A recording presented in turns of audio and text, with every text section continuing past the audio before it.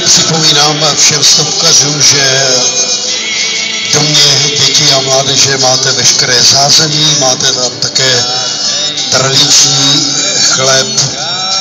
s pomazánkou a to je tvarohová